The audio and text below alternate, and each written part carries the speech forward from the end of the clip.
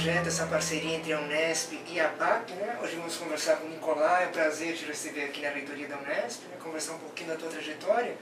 E a gente começa um pouco da origem mesmo, Nicolai. Eu tenho contato com a arte, como é que surge? Né?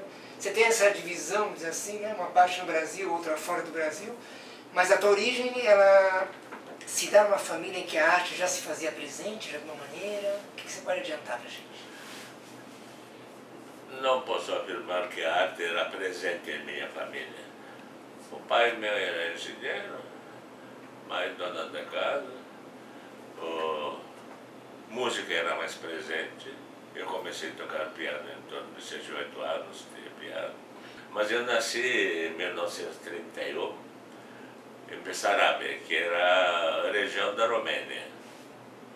Aos 12 anos, era um rio que passava, a Ackerman se chamava, Cidade Alba, Cidade Branca, onde eu nasci. Era fronteira com, uh, praticamente bem perto do delta do Danúbio. E lá eu comecei a descobrir o, uma argila azulada, assim. Eu fiquei atraído pela essa argila e comecei a fazer escultura.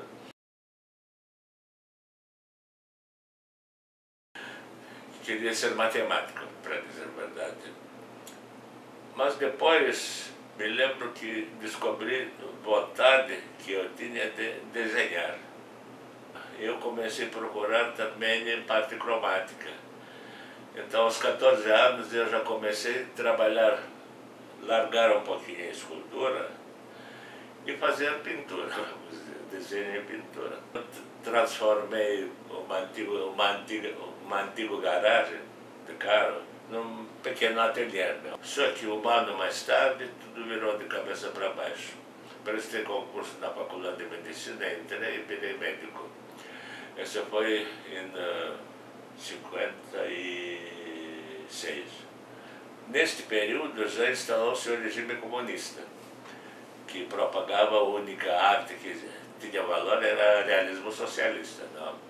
Minhas exposições, embora já amadurecidas, era um trabalho figurativo, era um trabalho com massa muito suculenta, que eu gostava muito de matéria, mas era considerado que eu virava decadente. Não existia mais lugar, nem para pintura, nem para escultura. Então isso eu fazia mais ou menos escondido. Escondido no sentido de não aparecer que existe um capitalista por lá. Quando eu tinha 20 anos, 20 anos, ainda o comunismo era um pouquinho mais comestível, 1950, 51, minha mãe tinha dois irmãos. Tinha dois irmãos em Bruxelas, em Bélgica. Um era cantor de ópera outro era engenheiro naval.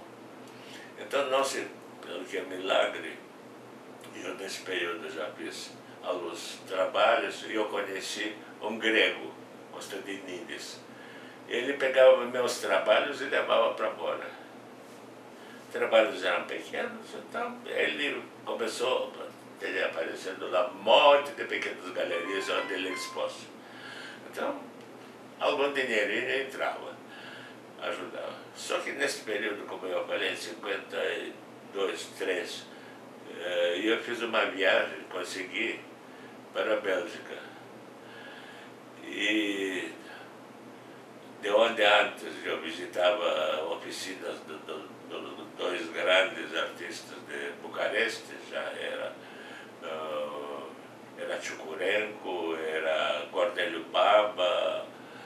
Uh, então eu ia no ateliê deles. Eles proclamavam, era na época uma selvageria, era só instinto, a razão não tinha nada a ver com a arte, a arte conceitual, conceitos criam lógica e intuição cria arte. Então eu conheci esse pessoal quando eu fiquei lá três meses praticamente, era no, nas férias de verão. Quando eu voltei, já minha cabeça mudou totalmente. Era outra, né? Imagina. Era outra. Em 76, eu viajei para o Brasil. Qual o motivo dessa viagem? Como é? Qual o motivo dessa viagem para o Brasil? fugir do comunismo. Eu quando cheguei coincidiu com uh, aquele exposição Olimpíada dos Imigrantes. Se não me engano foi em 78. Então eu tive apresentei trabalho, esse foi aceito e expôs naquele grupo. E duas ou três Olimpíadas expôs lá. E neste período comecei a procurar um espaço para mim cultural. A primeira exposição que eu tive foi no espaço, me lembro agora, nem era galeria, mas era um espaço enorme, se sabe, esse espaço Sambra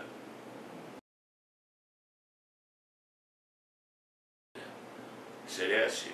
Primeira coisa que não pertence a você. Você nasce com essa deformação de artista. Essa coisa genética. Não tem como controlar. Nasceu artista. Artista não se faz, você nasce. Depois, você começa a ter uma paranoia. O que é essa paranoia? De trabalhar arte. Que não quer tem por alguma coisa. E você trabalha. E terceira etapa, quando você, vamos dizer, está selecionado para todo mundo e fala que seu trabalho é bom. Eu assim defini para eles. E, essa é a minha história, mas cada homem pode ter sua maneira de encarar esse uh, problema ser artista. Você tem que ter eh, uma coisa nata por isso, como eu, quando cheguei já no, nos últimos anos, começaram a me perguntar que era expressionismo abstrato, que era não sei o que, que era pós-modernismo, várias palavras.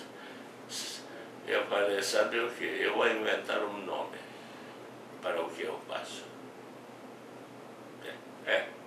porque tem tantos ismos, desde raionismo até não sei o que, que eu tenho que inventar meus nomes, porque não posso entrar nada. Qual é o meu nome? Mas como você faz? Minha arte é epigenética. O que é essa epigenética? Nós não conhecemos esse movimento. Não. Porque inventei essa palavra de duas coisas. Uma coisa é aristotélica, que você tem uma forma indefinida, vai evoluir. E uma um sentido é, é, biológico e genético embrionar.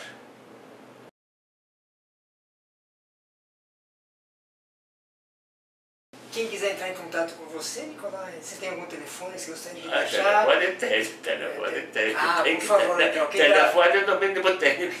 Está nos ouvindo quiser Não sou totalmente recluso, nem nenhum tipo de monge, mas mas o, o telefone você tem que anotar da, da, residência, da, do celular, esse eu tenho, óbvio que tenho.